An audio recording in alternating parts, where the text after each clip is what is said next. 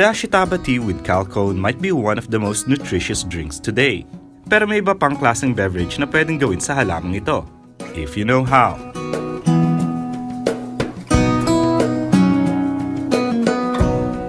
Magandang umaga, Pilipinas. Ito po si Lulu Rivera. Ma'am Lulu ang tawag sa akin. 80 years old.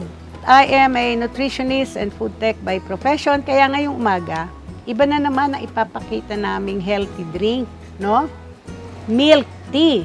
Kaya dito, hindi lang yung mga elders, hindi lang may mga sakit, but our mga teenagers, naku, yan ang gustong-gusto nyo. Pero pwede ba, gawin naman nating healthy.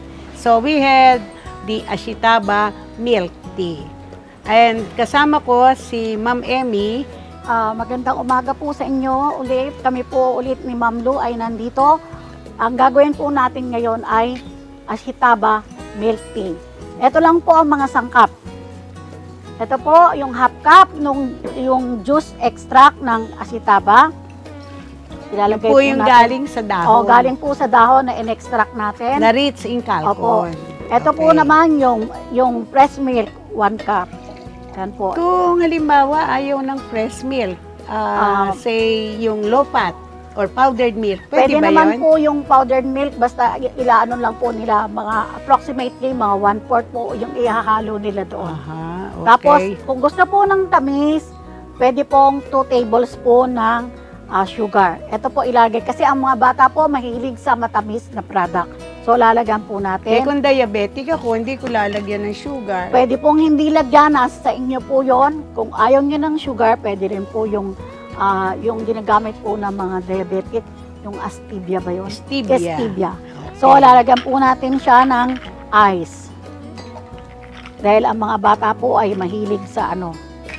Pwede ding negosyo yan, ano? Opo, pwede po. Okay. Tapos po, ilalagay natin siya dito sa electric shaker. Kung wala akong electric shaker, ano ang gagawin ko? Kung wala po kayong electric shaker, pwede naman po yan, takpan nyo. Napakano. At pwede mag-exercise kayo, ganyan-ganyan lang po. Ah, so Ganyan nakita nyo, very practical. Napakaano po, Okay. napakadali po nito. Okay.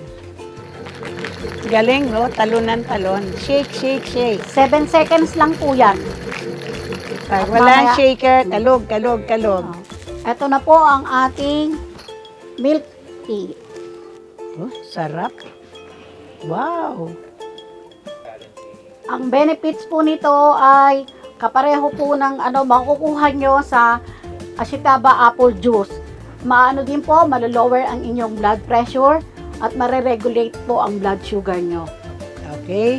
So, Tapos eto let's po, have a ayan, toast. magtotoast po kami. Taste it, drink it nicely, be healthy, be young, be beautiful. Okay? Ang sarap.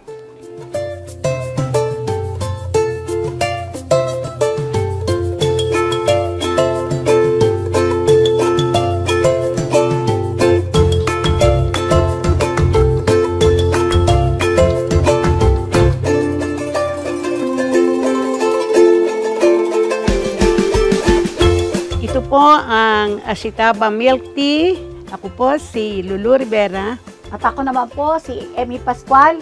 Hanggang sa susunod na Sabado, abangan nyo po kaming muli para po sa iba pang ah, ibabahagi namin sa inyo.